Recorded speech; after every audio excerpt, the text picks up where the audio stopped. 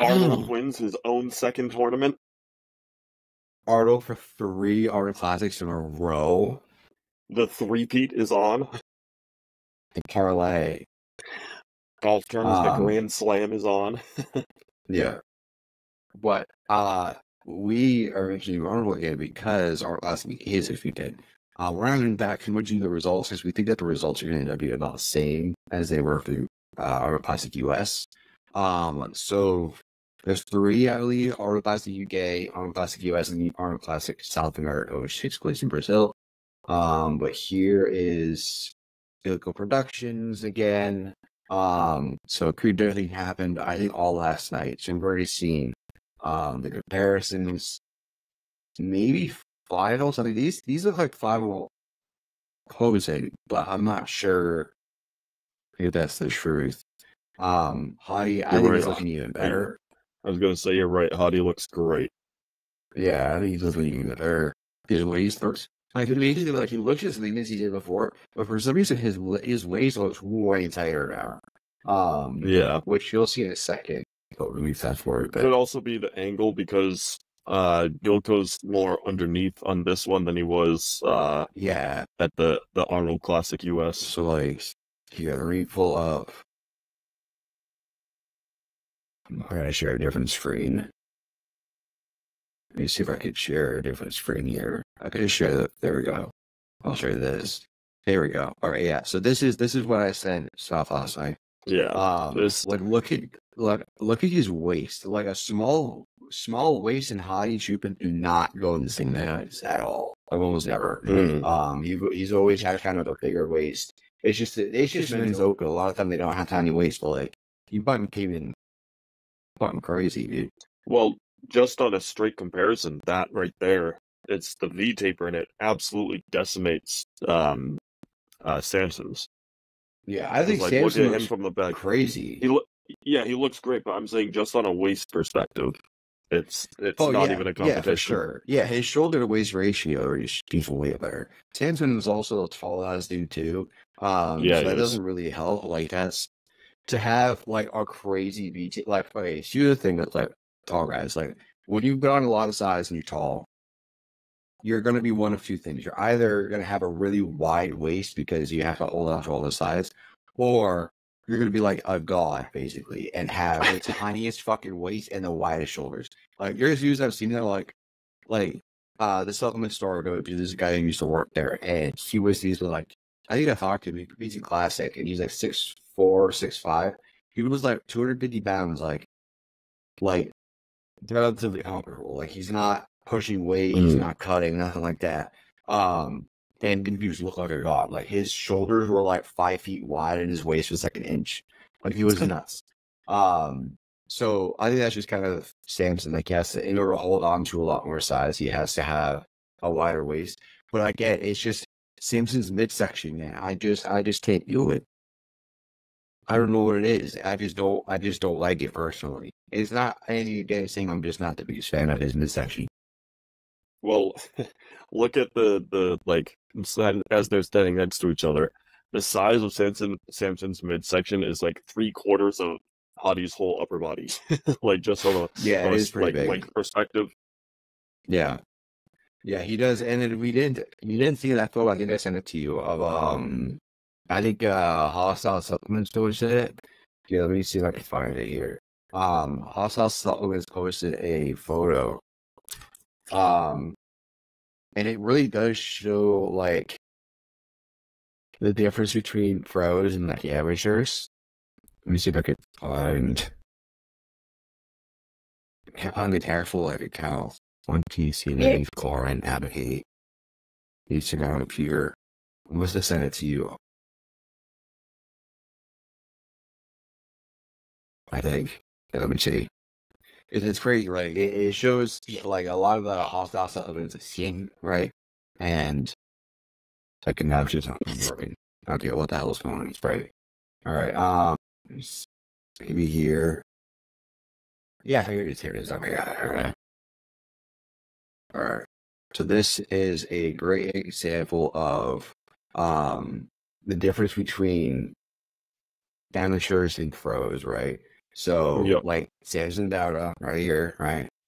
Um, and look at like Samson for instance, because you're watching like this would help a lot. Like Samson is like a really big deal. Like like Brandon, he's sitting a couple big feet back from Samson. Don't don't get me wrong, but like his overall physique too is just like like Samson just on the level. Yep.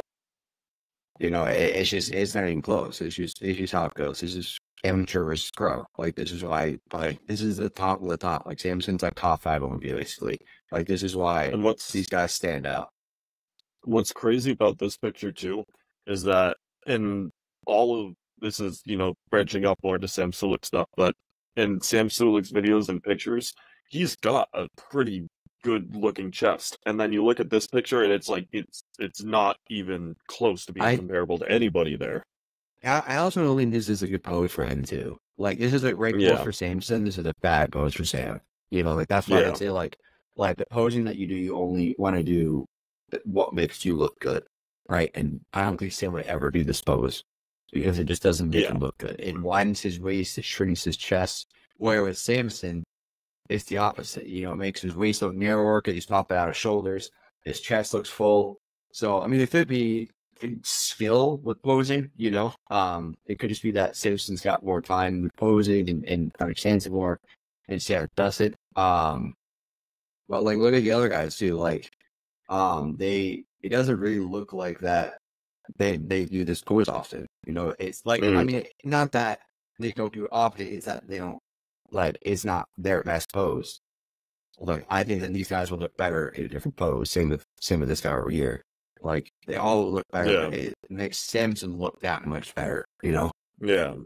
Get So- that. And then all the all the guys wearing, you know, slim fit like joggers, whatever, and then Sam's in the the The the, shorts. the like the the Coles uh sweatpants. No, oh sorry, not Sam. Uh, Sam Sulek is in his Oh. classic like yeah, is they're like regular ass sweatpants. That's what I mean. Like everyone else is wearing like perfect like taper and perfect like uh like this is like North, joggers. I think. This is like Get North. These are like jewelry the pockets on and the then the, sides. the he's not even hiding the strings either. from his sweatpants. No, there's just tie strings, just tie strings. This dude got like baggy, like cargo pants that kind of fit the vibe. Yeah. Seems like I'm comfy. I'm just, I'm just that's comfy as also hell. why that's also why so many people love him because he's he's just such a normal dude. yeah, exactly. Is that. You see that dog video where he's doing tricep push down? No. Oh, he's doing tricep push down. This dog walks by him, and he's like, "I'm gonna Oh, go for like a few more." Oh yeah, And yeah. he goes, yeah, yeah, yeah. He stops his set like mid set and just walks to work. And I'm on the same way. The gym I go to has a dog, and anytime we get a chance to pet her, I take it because she's so skittish. Yeah. She doesn't come over often. But when she comes over and, and starts swilling my bag and stuff, I'm like, you, you. then I say, like, she doesn't do it often though. But um, yeah. So this is this is what I was doing earlier. Um, yeah, just the pros are just on a different level. It just it's crazy to see that. Um, speaking of pros, I did have uh the seminar last weekend.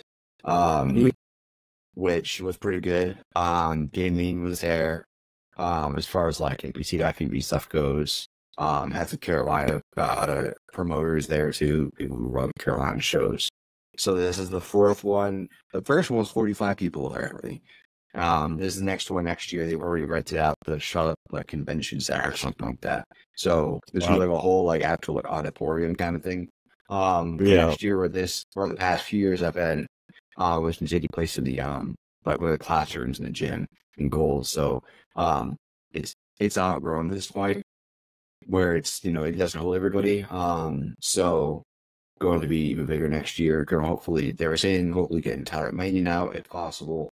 Um so that'd be kind of cool. But yeah, we had some big pros there. We had um we had Andre Ferguson, we had uh Ben Gill, we had uh Emmanuel Hunter there, a few pros and classic as well. Was a name? I was forgetting the last name. Um, let me see.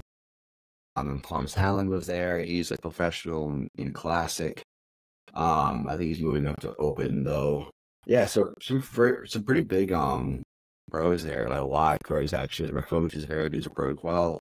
Um, a lot of I female feel like it. Uh, I feel like it has to be such a like delicate line to cross because you obviously want to go and just like not fanboy, but like these are the best of the best. So you want to, you know, just go and like be a fan, but then you're also there seminar seminar wise to be like learning. So I feel like it's got to be some like like it, it- you're sitting there with your sharpie, like getting ready for someone to sign it, but then you're like, wait, not right now. Yeah, yeah. I mean, it's uh, like um, I've already seen a lot of these guys before, met them before, so it wasn't like anything crazy. Like last year was crazy because that's where all the big pros were there for the first time. So like it was crazy the controversy first is because like I saw him first in Generation Iron, you know. Yeah, Um, and now I'm seeing him again. You know, it's pretty cool to see them. Um, you know, I'm not really, I didn't really ask for like uh any autographs or anything like that. Uh, but uh, it was cool to see like you know their process and all that. The what was disappointing was the one physique I wanted to see was Ben Kilos. He didn't show it. He wouldn't show it. uh, I don't know why he just, you know, they were telling him to get up on stage to blow it, and you say no, no, no, no. Like you say no. So I'm like, damn. Um, because that was one of he's one of my favorite men's physique competitors. Um, his overall upper body structure is insane. Um, lower body has no legs, which is a damn shame. But um, yeah, that's pretty cool. It, it, I didn't learn too too much. Uh, a lot of what they went over and talked about was kind of already talked about in the past. You know, like um, you know, what they're looking for in shows and stuff like that. Um, but for me, I asked a couple questions up with promoters, um, who do, who do the judging and all of that, and um, I asked about uh moving from when you're doing your front pose. Um, I say it's just kind of like a joke now that like men's physique guys can't stop moving their arm. Um, and I said, is that does that take away from anything? And they said, not. I want to say they said like not really, but if you stand still, um, and you relax pose, you will only see more restraints. For the more you move, the more chances we see your your weaknesses, right? And that's are you talking about? Uh, you talked about when you're hitting the front and then you just like reposition your arm? Is that what you're talking Yeah. about? Okay. Yeah, exactly. Uh, and that's one of the things that like, uh, um, her name is Mo. She's um, she's a well-known like Carolina judge. Um, she judges a lot of the IFBB and NPC shows in Carolinas, and she used to be a competitor. She's pro as well. Um, and like she's pretty close with my coach, so like, you know, I'm trying to work my way in there, play the game, and get her more. But she was the one who was talking to a lot of people about like what they're looking for, and she was really the one that was like kind of like straight to the point. She's like, look. Like the more you move, the more weaknesses we, we see. She's like, our job is to find the weaknesses. That's how we determine who's placing where. So if you're going to show me weaknesses, I'm going to see them. Um, then you should talk about it, women and guys and all that. Um, and for guys, like they really emphasize like when you're doing when you're doing um uh comparisons. This is what was interesting to me. She said they're like when you do the comparisons, don't do any sort of transitions. So like just go from front to back to front. You know, Yeah. like don't don't do anything flashy. They're like because we're we just want you to show your front and show your back. So like if you do transitions and you're taking longer and all that, then it's gonna stand out and you're gonna like it. Um and one of the pros was talking about like when you're here, like see the front pose, he's like, This is how you get to that pose. He's like, hands. And he's like, the sooner you get back, you get to the back pose, the better, right? He's like, you you want to get as fast as possible there. So you be the first one that they're looking at, um, while everybody else is still moving.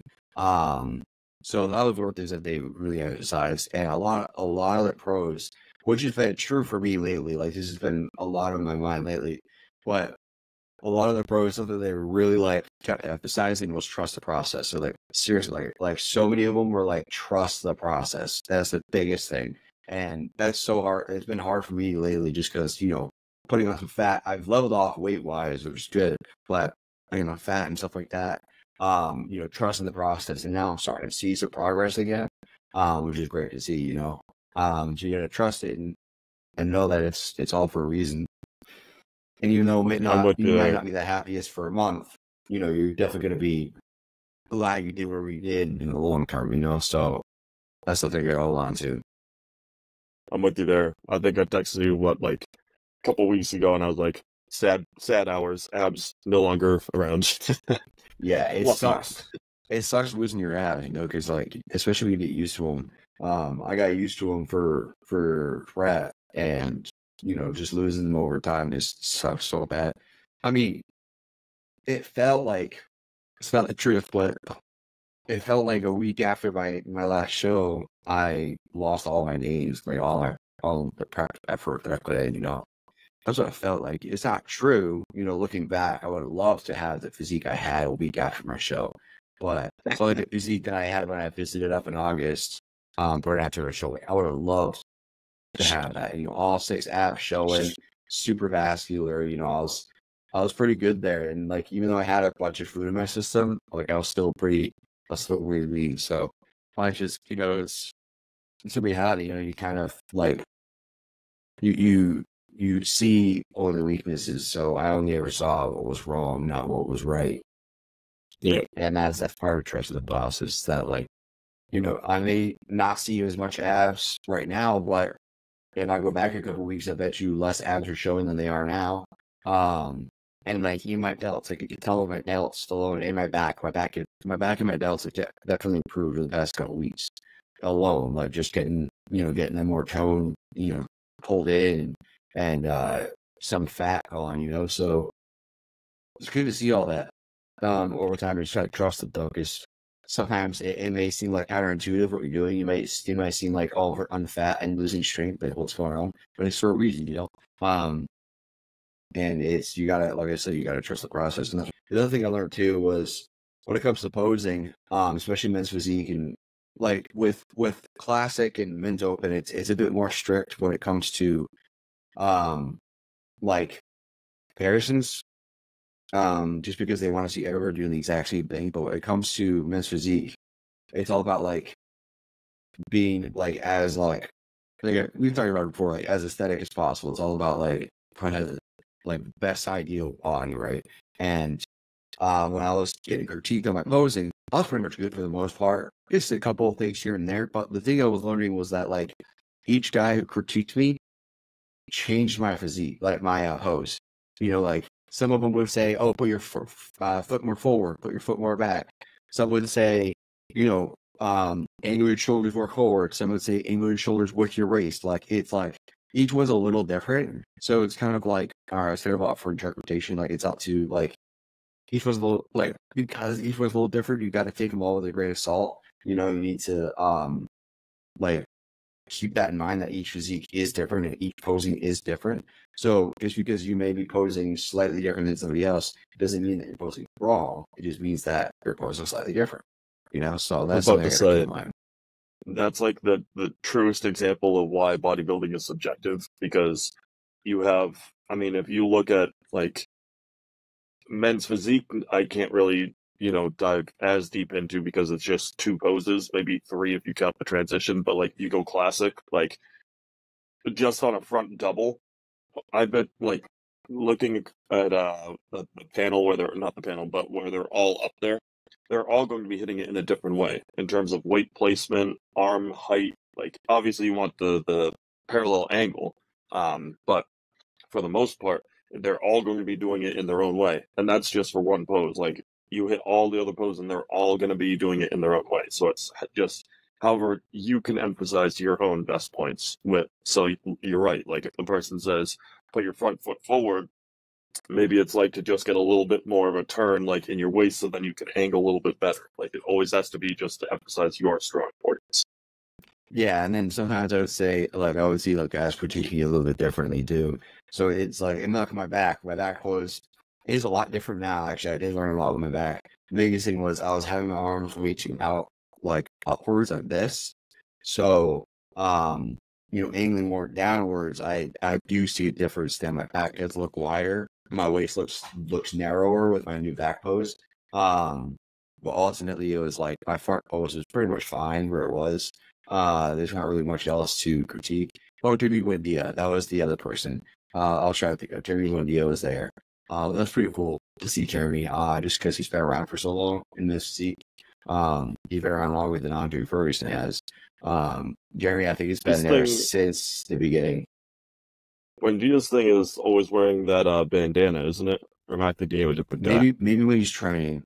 I'm not. Yeah, that well, might- that's one. Yeah, Yeah, I don't know if you wear one after the day for the seminar, but I think he wears kind of like a hairband thing when he trains. I think, uh, or like a bandana. Um, but uh, he's been there since like the very beginning. I think of like the Olympia men's physique. I'm pretty sure. Um, Yep. yeah, he's been around for a while. He he has brought a lot of light to men's physique over time.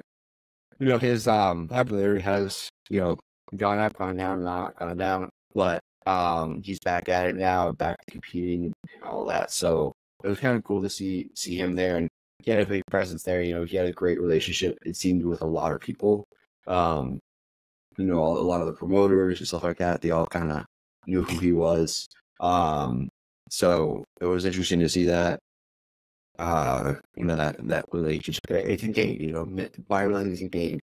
You got play, and uh, there's there's certain things that you know there's a lot of nuance. There's a lot a lot of nuance of bodybuilding, and one of the things about bodybuilding nuance is, uh, the the better you know the judges and stuff like that, the better chance of uh placing well at shows, and the better chance of uh getting good critiques that will help you. So you got to build those that's what I was relationships. say. Yeah, Yeah, you Like- gotta build the relationships and, and they gotta know who you are. And that will actually subconsciously put them put you in a better light on stage than other people. yeah.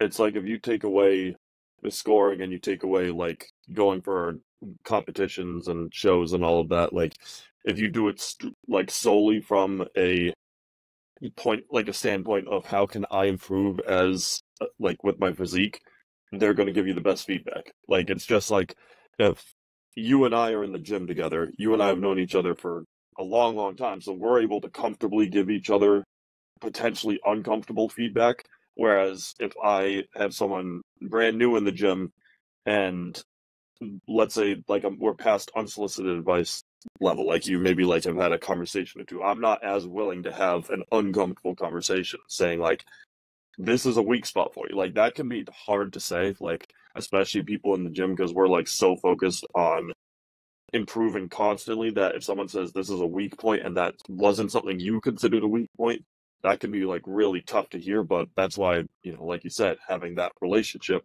with especially pro level judges, um, that's I mean, that's a a bridge you gotta cross every single time. Yeah, I mean it's you know, they if you email the judges afterwards, they'll still tell you like what to work on. But, you know, knowing them you know, they some of them might, you know, be able to tell you how you're looking, you know, before a show or whatever. Um, not that that like that repeat much. That's the thing. It's not like um, it's not like you're handing someone like the other team's playbook, right? You're not like handing them like literal cheats. You can't just like change your physique in a week. But if somebody's like, you know, you ask the judge uh, a week in advance or something, if you know them enough, like, hey, how am I looking? I'm sure that they'd be like, well, you got to really tighten up this, or you know, you your next off season you need to grow this, stuff like that. Um, you know, they'll you it's not gonna change the results really. It's all gonna be whoever's the best bodybuilder that day. So even if you look amazing a week out, you know, you might look like shit the day of and they might place you far back. Um what getting the getting the critique afterwards, um, you know, they said my back was a big focus. Uh after my last show they said, you know, and thickness in my back needs to come out. Um, and then also my upper chest, which is surprising. I thought my upper chest was one of my uh, strengths, but it's Yeah. supposedly to them one of my weaknesses. I thought my weaknesses were my arms, but they didn't say anything about my arms. So, um, that's what I'm going to be working on now. Is my loose split is to go off, and it's um you go to the back, arms. So back is day one, arms is day two, but I do touch up my upper chest on day two. Um, so I do like one or two movements in the upper chest. Day three is legs, and then rest. Now day four is back. Day five is chest and buys, and then day six of training is um is I hit everything just out twice a week. Um, besides legs, legs are the only thing I don't really hit twice a week, but everything else I hit pretty much twice a week. Um, to work on those uh, weaknesses that the judges are saying, right? So, um, got to improve upon that. I already got confidence in my back, which is good. I do have a new back routine that's a lot more like uh, it's all pull down and, and rows, really. Yeah, you were saying that in your Snapchat, just uh, like three different rows, three different pull downs. yeah, pretty much. I just went at it like with a very like optimized approach and like really like isolating um Mm. individual muscles and uh rather than like doing anything sort of like heavy compound movements, I'm just doing stuff that's like really good. Like semi compound or isolate. Um and just like really squeezing the hell out of everything. Uh and just getting like and like also stay kind of like keeping it pretty dense too. Like I warm up now with like probably like two to three, four G rep sets, and then the rest is just like eight to twelve, maybe six to twelve, like to to like close to failure, pretty much. So do you uh like let's say you do three different rows, right? Are you doing any single arm movements? Are you doing all uh two arm together?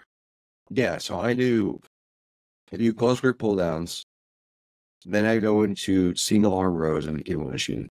Then I go to T bar rows, those. like a wide grip, yeah, single arm and great arm cables. Um, then I go to T bar rows, uh, live T bar rows, and then I go to um lat pull downs, and then I do pullovers on machine. We got a pullover machine on my gym, so that's that's my routine. Um, so I do a lot of cable a lot of machine. It's all it's all cables and machinery. It's all some sort of machinery, really. Um, but I keep everything the same, like grip wise, except for the single arm. The single arm around the other kind of they're set, it's separate, they're separate. Um, but I do I take those and slow. I so like the start of the rep, my hand is flat with the par with the or parallel with the ground, and then when I end, it's perpendicular. So I, when I row. I turn my hand to the side, um, like twist it right, uh, like really. I'm gonna start here, and then I end up here.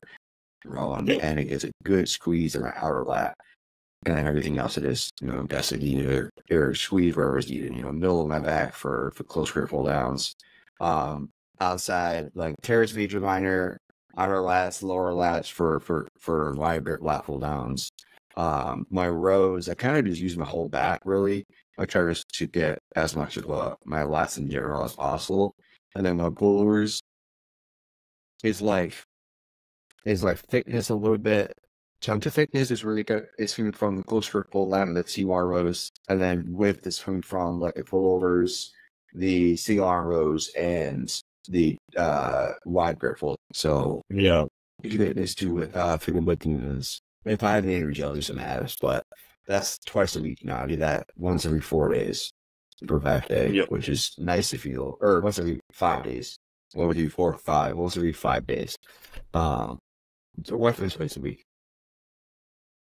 One of the things I learned for single arm rows is, especially on the table, like you talk about, you know, going your grip changing as you come in, and then right at the very like peak of that movement, just rolling your shoulder a little bit back and like twisting your whole upper frame a little bit just to get a little bit more squeeze. That was one thing that my coach worked with me when I was when, back when I was working with him. It was like instead of ending right there, which is where the natural ending of that movement is, Mm-hmm. it's just rotating a little bit more on it to get that little bit just a little bit more squeeze in your middle back Yeah, and that's also why um that's also why like Arnold like when using his rows and what's wrong a lot of people do is they like fall forward towards the machine and then use one of to Yeah. pull it back and that's not what he's doing. He's leaning forward, he stretch out his back, and then as he's hitting his back, he's pushing back with his like he's you know getting back into the posture. At the same time, he's rowing, so his back is rowing from the start of the cable machine to the very end of the rep. Um, so he's not using any momentum, even though he's going fast. You know, he's still doing a full row from start to finish. Know, he's pulling the whole time. You're just getting a lot more range of motion. Um, and that's the kind of similar similar aspect where you just pivot a little bit and get about two extra inches of uh range of motion. Uh, it also depends on what you're doing. You in close grip, you can't do that. You can't twist, but Yeah. the single arm, yeah, for sure. Um, I did see you see um that photo if I don't think Melanie has one, but you ever seen that uh row machine that's got the plate to the bottom and it's got like two attachments for hands on each side. They're like this, and then like this. You know Yep. what I'm talking about? Yep. I saw somebody say that that was a leg press of, that back uh, rows or something like that. I'm like, holy shit, is that fucking true? Probably hitting that one like four or five plays per side. I'm like, no, strong. Wait a minute. this ain't this ain't real. Yeah, my thing whenever I do any row movement that's not cable or dumbbell, like if I'm doing anything, any machine work, I'm not really focused on like, it's, like mentally thinking like if I'm moving this weight, I'm strong. Like that's no longer a thought process. I'm now thinking like I need this weight to get the best feeling possible because it it's just the reality. Like I can row. You're right. On one of those, one of the machines that is kind of like that, where it's plate loaded. I think close. I mean, I think three plates is my top working set, and then hmm. if you translate that over to dumbbells, I'm going over what 45, 45, 45. That's buck 25. Going over and trying to grab a 125 dumbbell. I'm like, how I can't move this. Yeah, it doesn't translate. It's like in like thrusters and squats. I think I think leg press. Like right now, my top set's like a nice and slow left eight plates. There's no shot we can I can ever we back can leg press that. a bus. Yeah, pretty much. Like it's like you give you could like press so much more than you can squat. It's like I would Mhm. say it's probably like double. You could probably like press double what your squat is easily. As far as like sheer weight goes, but with the resistance of the machine stuff like that, it's not it's not quite the same. That's not how that row machine works. It's like the the way the physics works on the plates where the actual like plates are in comparison to the fulcrum. It's very light. You know, it's it's it's very light where you're rowing. That's where you have to use it in place. But then if you use like um like that's why the they the Arsenal T bar row um if you guys have ever used that the Arsenal T bar row. That's why it's called the Hunglers because the grip is so the way the physics works, right is T bar. It's typically the machine the pole that actually holds the plates is really long, right? And on top of that, your your grip is usually pretty close to the plate, so like pretty much right out where the plates sit. So you can usually even do a few plates. But on the Arza Humbler, what they do is they set it up where like the pole itself is really short, and where your grip is is almost like two thirds of the way down the pole, not really even that close to where the plates get onto the machine. So it's a lot, lot heavier because you're using a lot more. Like you have to fight gravity a lot harder, and there's a lot more resistance in the actual like physics in the machine. So um resistance into physics. Um so it's you have to use a lot less weight. Like I max out like a plate and a five, a plate and a ten, something like that on the side.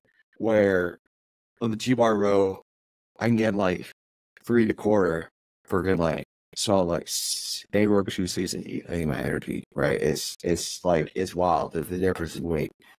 Um, so you gotta keep that in mind too. Like the pound machinery is very different in weight when you're used to, Yeah. it, and you end up like uh humbling yourself, you know. That's why that machine's called a light dress. Yep. But another thing that I want wanted to touch on too today was uh actually in regards to trying to master that was um I was listening to a video of uh RP Strength and I think it was um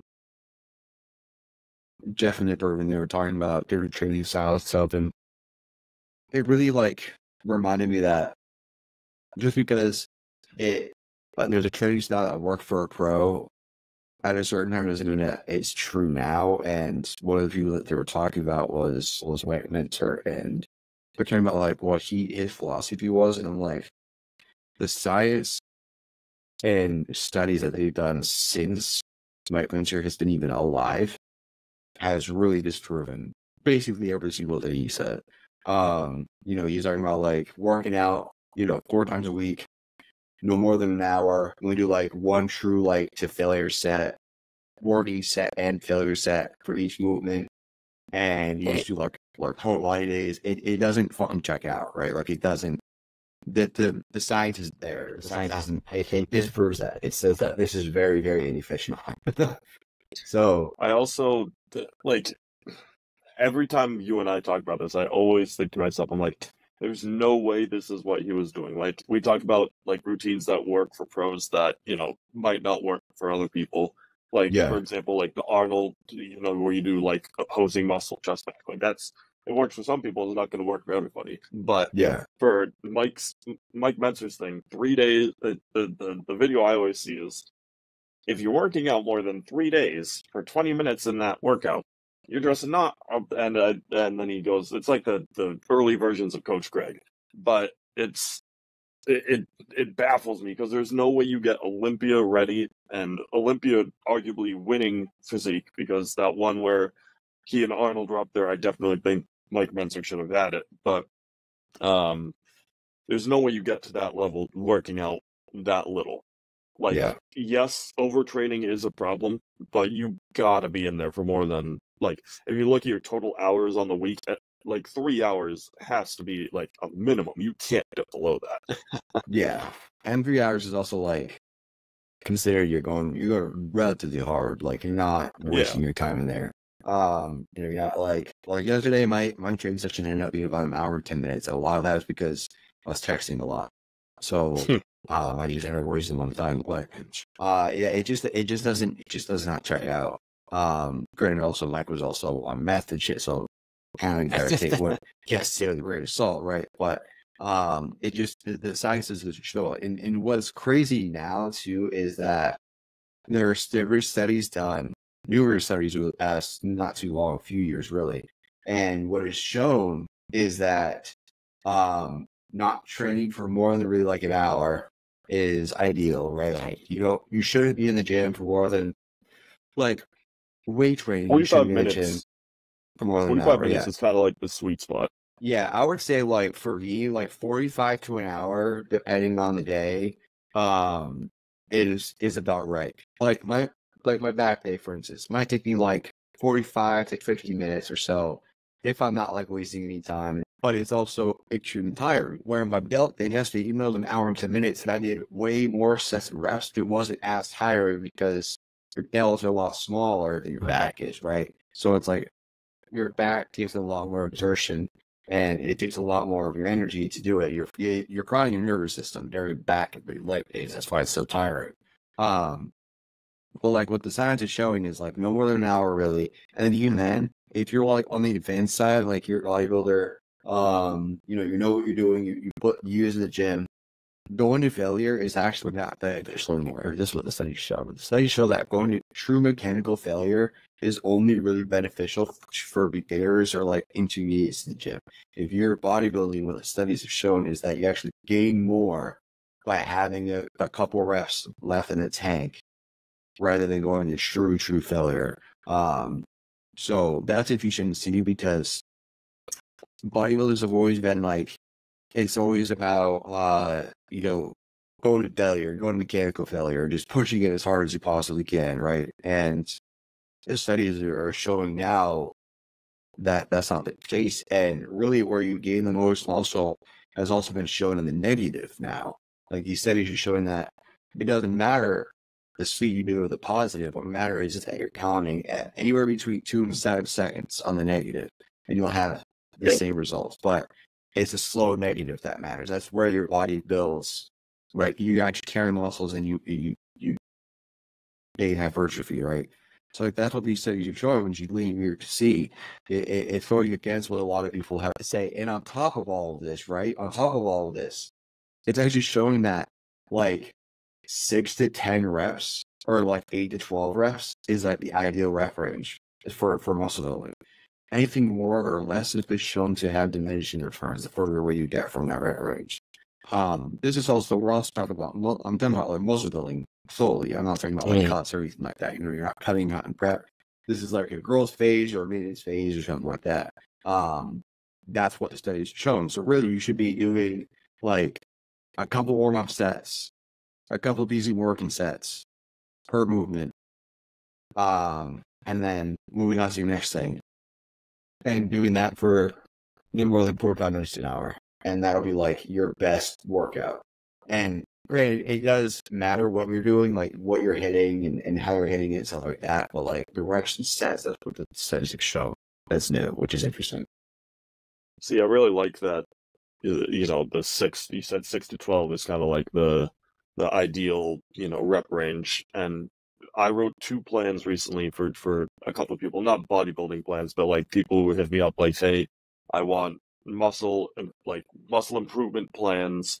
Um, don't talk to me about diet, even though that's what I was going to immediately lead with, like, what's your diet look like? But mm-hmm. just from the the workout plan, I love four sets, like, because I I just I love a four set, uh, like per movement type thing. Um, and I always write on my start, you know, the warm up set is relatively low weight, but it's 15, and then I just go right into 12, 8, 6. Like, and that's just consistent throughout the board, like across the board. And I just, it, for me, like, anecdotally, I find much better results when I go on that scale as well, 12, 8, 6. Except for, you know, there's some movements that I go heavy volume or maybe just a couple um, reps instead of that. But for general means, the the 12, 8, 6 is really what I've seen that works. So I, I, think it's you know cool to see that the science is now backing you know the anecdotal data. Yeah, I mean it's for me it's like I do like 12, 10, 8. I try not to go below eight.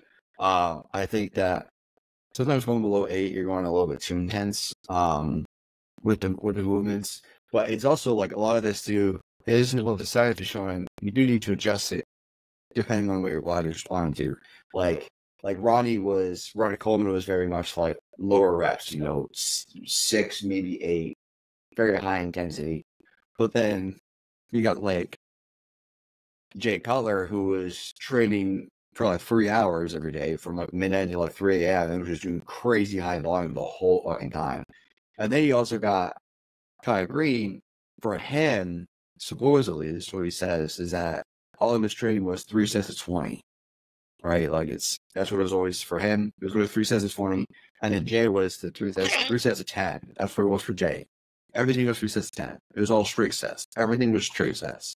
So it, it, it all depends on on what you're doing and what what your body gets the most results from. And I think that my body gets the best results from not super high volume, but like I think like a lot of sets, but also this like a couple warm up sets and then a few working sets 8 10 12 or 10 12 12 10 8 and it pretty close to failure is what i noticed and that my delts yes they were popping or something like that and but, also i did i did four side delt movements and one front and one rear delt movement.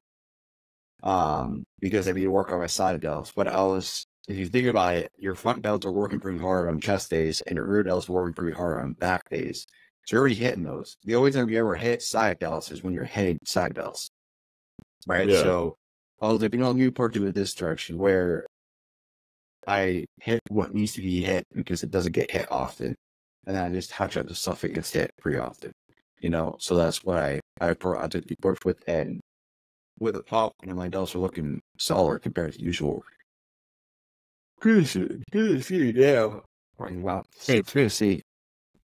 See, when uh, when people ask me about the the bodybuilding versus you know regular weight training, or even like compared to like powerlifting or anything like that, uh, I don't know if it was, I'm pretty sure it's you wait like years ago that that gave me this saying, but it was like bodybuilding is trying to move the least amount of weight for the most amount of reps and range of motion, and like I try and carry that mindset through almost every piece. Three sets of 20 just across, I think, is crazy. But I think that generally speaking, well, I mean, well, actually, we talk about we almost never PR, and that's kind of like a big, big mindset. Like you're, we are never going for that that one set or one rep max. So shifting that mindset from a lot of people can be tough too. Yeah, especially when you're younger. You know, strength is a big uh, ego thing. But the quote was, mm. um, it's, I think it's like, Detroit, uh, bodybuilders train, or how they train or whatever is, uh, going to move the least amount of weight as far as possible. And then powerlifters train where they want to move the most amount of weight as, as easy as possible. Because mm. you've ever saw train. I actually said that exact quote yesterday to Nick, um, because you were arguing about how I think that about technically powerlifters are training wrong, technically.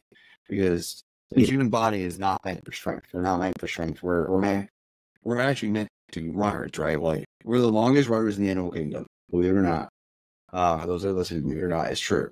We run all day long, and that's if you know we're going back to learn. You know, yeah, Yeah. like we're going back to like living off the land and like you know Yeah. barely having fire shit. Like you're running all the time to catch your food, right? So we were runners. You know, when it was firefight, we fucking booked it, dude. We didn't fight. So um, we went all day.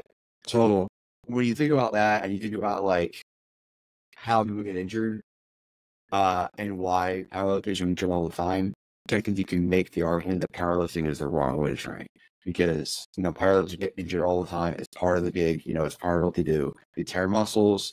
You know, they they they tear uh, ligaments. They tear um, you know uh, tendons, stuff like that because they're lifting and pushing too hard to the core of their body just kind of gives out. That muscle just gives out. Um, bodybuilding is not by saying you know very seldom, not often that a bodybuilder tears muscle or ligament or tendon or something like that. Only when he does something you're not normally doing, right? Like if you're, if I were to play football at like in the middle of prep, I probably would Mm. hurt thinking hurt probably because I'm Yeah. really prone to energy or sorry, energy injury, really prone to injury. You know, my body, I'm, I'm very low calorie. You know, I'm very like lower in energy, so like getting hit would probably just do a lot of damage, right? So like that's where you get get injured. So yeah, it's because of bodybuilding, but it's also like you're doing something your body's not trained to do. Um, but there is a video recently. It was uh, I think it was an elephants or something, and it was like they or I don't know what it was.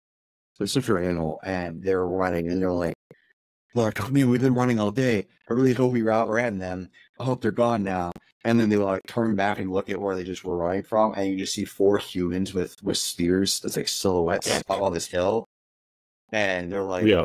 these guys never stop. And that's literally how it was. like that's literally how we were. We were the longest runners. We could outrun anything. So if anything tried to run from us, we might not be as fast, but we could eventually catch up. You know, we're we're more like hyenas than we are cheetahs. You know, we're here for the marathon. We're not we're not sprinters, right?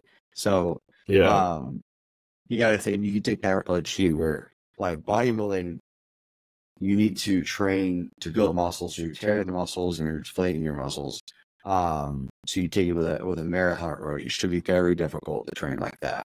Your body, you need to, you literally are telling your body, we need to adapt to this to do this better and easier next time.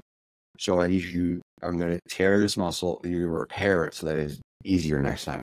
Or powerlifting Mhm. is like, we're going to train strength so that way I can lift this weight that as little energy is needed and as little shift is needed for my body weight right now. So you- you're telling your body, I don't want you to gain any muscle. I don't want you to gain any fat. We stay exactly the way I am. Want my muscle cells to be denser. Only to be harder Yeah. and denser so that I can insert more uh, less energy to lift this weight. That's how it is. So, um, you know, that's why like professional athletes hire bodybuilding coaches to train them. They don't hire powerlifting coaches. You know, powerlifting is just powerlifting. There's no other application for powerlifting. Um, bodybuilding is you can apply it to a lot of different things. So in training, you apply it to everything, right? Like, and it's just how it is. You know, it's I'm not saying bodybuilding is better than powerlifting. I'm just saying this is this is what the bodies were built for. Then you come together. So that's also something to keep Yeah. in mind. Yeah, and it's like the the subjective conversation because we bring this argument to any powerlifter and they're going to, you know, dispute it. Like it's all it's all subjective. Like it's all based on our own opinion. And But that's why these conversations can be so tough. yeah, but it's like look at how often powerlifters are injured. That's like that's like my argument. Yeah. It's like they're injured all the fucking time. You know, there's like you like look at um look at Westside Barbell. Westside Barbell, yes, it's the extreme side of powerlifting, and none of it's fucking healthy. But like, look at the guys talking about their injuries. You know, you can you can look up interviews with guys from Westside Barbell talk about their injuries, and they've torn like everything twice. Like it's crazy. And like that's not normal. You're you should not be tearing muscle. If you're tearing muscle, you did something very wrong. You really fucked Yeah. up. Um, like that, like that incline bench uh tear with um their wheels. You know, the guy who was actually I was Yeah. going to bring up Larry Wheels because Larry Wheels is the combination of bodybuilding and powerlifting, and he either gets injured more times than everybody else, or he injures other people. Like there's the Larry Yeah. Wheels cursed, for, and like that is like so scary. Yeah. I would never train Larry Wheels for that very reason because he pushed my body in a way that nobody's not used to. And we would go for strength and shit, and I'm just fucking did it something. And that's what happens to a lot of guys who train with them. But he's a fucking alien, too. You Like, he, he's not even out of this planet. You know, like you can't like Larry Wheels is such an outlier. You just like you can. That's why he's so crazy. Like that's why it's crazy to see what he's lifting because it just it's crazy. He looks like a bodybuilder almost, and tr- like is as strong or stronger than ninety nine point nine percent of competitive powerlifters. Yeah. It's wild. Well, did you did you see the uh the arm wrestling one with him? That was the worst one that I've ever injury that I've ever seen. He injured Oh, a dude arm wrestling. He he snapped he snapped the dude's arm. I've seen I've seen those videos before. You s- it's after elbow, Yeah. or whatever. It's like I think it's like Yeah. right where it's there. It's the He tears the ligament on the inner. Yeah, yeah, it's like it's on it's closer to your shoulder though. It's on the shoulder side that it's torn. That's why I'll never arm Yeah. wrestle. Like I've always said, like I will never arm wrestle just strictly out of fear of that. Because you're down for the count for months if you do that. Um It's closer to a year, but yeah. I mean I mean I don't I just assume at least like four or six months for recovery or something like that. Because then it's Yeah. don't just grow back. You have to get a surgery and you have to like do PT and stuff like that. Um, like my mom's ACL, she tore her knee. It took six months and crutches before she could like wear a brace. And then it was like, I think it was another six months with the brace. You know, and then it was like slowly wearing the brace less and less. Um, Yeah. and so like that's why I'll never arm wrestle. I would just out of the just sheer fear of it. Um, but the reason that guy tore his pec doing nine braces is doing way too slow. He's doing way too slow, way too heavy of uh, weight, and his chest just gave out. He's pushing way too hard. Um, so he's doing something that he normally doesn't do, and something he should have been doing. You know, and that's why you, you get a muscle tear. Uh, that's why you should be going too slow. You should not go so slow that your muscle just give out and tear. You know, you shouldn't be doing a rep for more than, like I said like seven seven seconds is like where it starts to dip off or actually results. So anything more than that, it's kind of diminishing returns, and at the same time, you're also asking for injury as well. So I'll leave you I'm gonna say one. from like a from like a mental standpoint too. Like, sure, if you're trying to like PR bench and you're struggling and it takes more than that, that's different. But if you're doing any movement and you genuinely take longer than, I mean, for me, I'd say five seconds, seven seconds is where you're talking about. But like, if you're taking more than that amount of time, like, what even is your thought process? Like, you get you, I would be bored doing a rep that slow. Like, if I do five, five, seven, six, seven seconds, like that's intentional. But doing anything more than like, imagine doing a like a barbell curl and you bring it down for 15 seconds. Like I would just be looking around, like, what are we doing here? Yeah. Yeah, think about it for like 10 reps then. We're talking like a two and a half minute Yeah. set. You'd be there forever. hey, bro, are you done with this? Uh, are you still hitting this? I'm I'm still in a rep. Yeah, you're slowly going down. Hey man. Look. What was it what's the analogy? The the turtle with this the the turtle uh So- turtle in the hair. yeah, yeah, that analogy. What was it? Um patience I forget what the scary slogan is. Um slow say to the race there is slow to Yeah. say to lose the race race, slow to say to lose the. You do like you have to do like five hours every two weeks. You just actually like do it because it's so long, kind of attention. It's like you were having like a full on conversation while you're doing it. Yeah, man. So I I, I think I'm gonna go uh, to Chipotle after this. Yeah, someone's like, someone's like, how many steps you? You're like, I got two steps. So there, I'm gonna wait. In one second. Fuck this, I'm out of here. I'm going home. Makes eye contact the whole time. one one hundred. Like one out of a hundred. Two out of a hundred. I well, let's see it. Fuck that. But yeah, no, it's. I can imagine too, like like take that in like a like a PF setting where there's no benches when there's only three Smith machines, and you're like, all right, this guy's been on there for like ten minutes. He's bound to be finishing up. Oh, he's lo- loading on more weight. This must be his last set. Yeah, one, two. Please, slow motion. Yeah, But, yeah, it's I don't know. I you gotta take in the grain so salt what uh, people say um, that sees are you know, a big run too fast or too slow. Um, be careful, stuff like that. That's how you tear a muscle. Mm-hmm. Um, time it properly. You don't have to. I mean, I didn't count. If you so like, here's the other thing too is like you're, you're like, oh, I want to count the seconds or whatever. You get you count the seconds long enough, you you eventually not count the seconds anymore. You eventually just be it'll just be muscle memory. You know, it'll just be it'll just do it naturally. Same with that resting, right? Like I used to rest for a minute for so many sets. I can almost just naturally get back into it a minute after I stop. It's just my it's like a biology that I did it for so long. Um Yeah. so it'll really become more training is these habits you gotta build.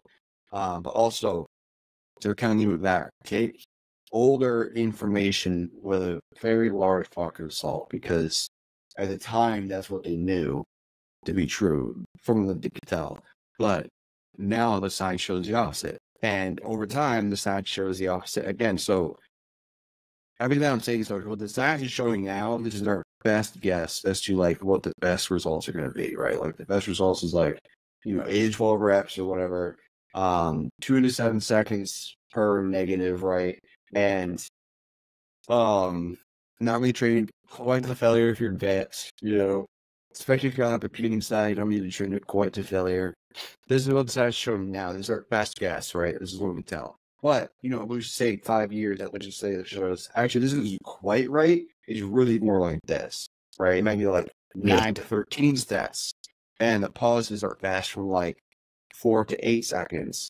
And you know, all this, right? So it's like the this is our best guess right now. So at the time, even if Mike let's say Mike Mentzer was all the truth, that was his best guess as to like his best results were, because of this type type of training. How he had gotten better results with different training, I guarantee it. I guarantee it. But for him, his best guess was what he was saying. Um, and the fact that um, this is their best guess, what was, you know, the stream of like like anabolic, right? Anabolics come a long way. So the training now is very different to compensate for those anabolics. You know, like Harold's day was all the ball test. So at the time, they thought that EMOM tests were like the best, the best, and it's all that it's ever going to be. But there's so many better things now to add on to test and to theoretically replace the ball. You know, it doesn't work the same way. So you have to take all those things into account too. So like, there's a lot of things to like keep in mind when we're talking about, um, you know, this older data, this older information, this older science, and a lot of these older our evaluation training a certain way. And the science shows now that like those training, chest, chest and back day, that's too much. You're actually getting diminishing returns because you're training too much muscle in one day. That's what the science has shown. For him, that's his best guess to what his best results were, and he always worked for him because he, his thought process was, while we was resting, it almost working. So I'm I'm hitting two muscles at the same time. I spend time wisely. You know, it's it's it's what gave him this result. So take all this with a grain of salt. Is our best guess as of right now? Doesn't mean the science won't change.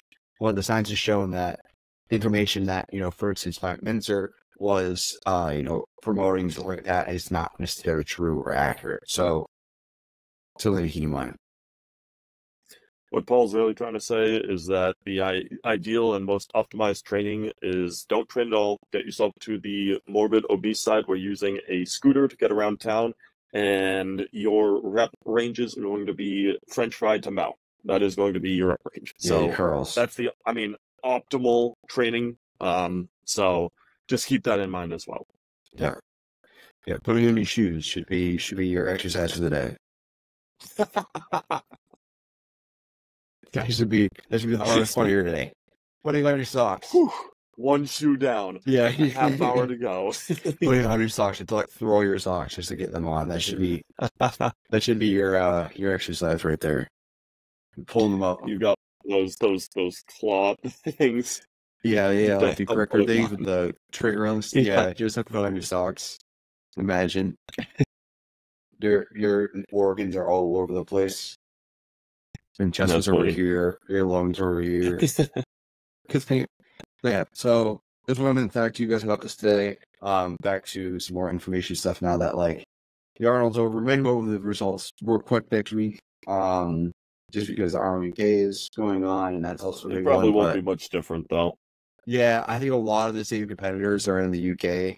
Um, and a lot of them, you know, like Corey Morris, I think Mike plays better. Um, in the Arnold UK that he did in Arnold US. So we'll see what the results are, but I think they're going to be very similar to last week. I already know Wesley Vissers did win um, Classic. Yep. You know that. Um, and I think I'm just going to get mental open. I'm, I'm very confident in that as well. So the rest of it's up in the air, but I think it's going to be pretty close.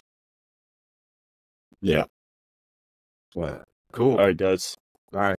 Thanks for listening. We'll see you guys later. Peace.